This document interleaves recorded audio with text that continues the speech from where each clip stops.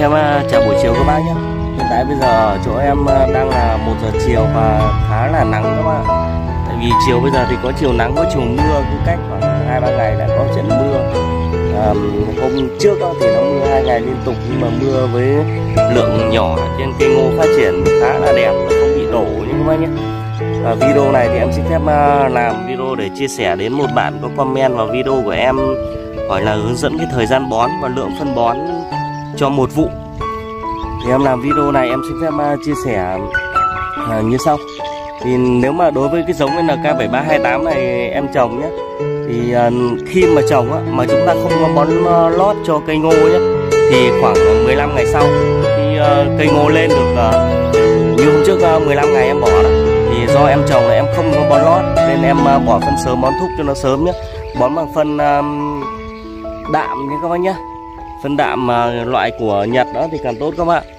Thì chúng ta bón với cái số lượng là với số lượng là 40 kg trên một xào nữa các bác nhé. Thì đối với gia đình em thì em không có bón lót thì nên em bón à, cái số lượng đất à, cũng khá là tốt. Em bón 40 kg trên một xào. Còn đối với nếu mà đất mà xấu á, thì có thể bón thêm một chút nữa. Thì nó cũng rơi vào khoảng 50 kg thôi.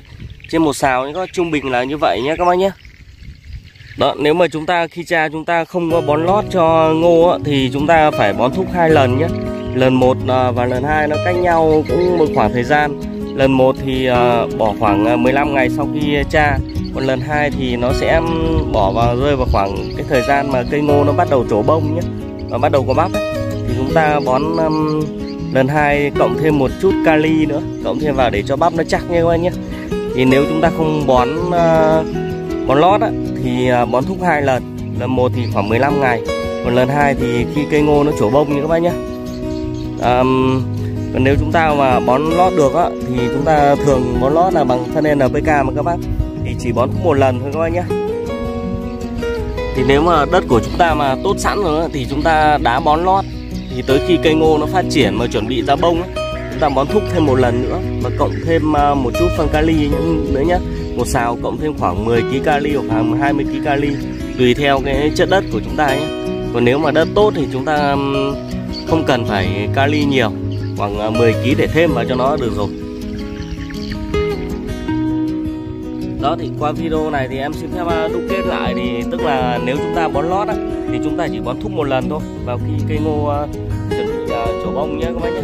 Và nếu chúng ta không bón lót á, thì sau khoảng 15 ngày chúng ta bón thúc cho nó một lần. Ờ, một xào khoảng ờ, 40 kg ờ, phân đạm như các bác nhé. Rồi bón thúc lần hai thì vào khoảng thời điểm nó cũng trổ bông. Và cộng thêm một trên một xào thì khoảng 20 kg kali nữa nhé các bác nhé. Và tùy vào cái chất đất nữa, chúng ta có thể lựa chọn đất tốt thì chúng ta bón ít thôi.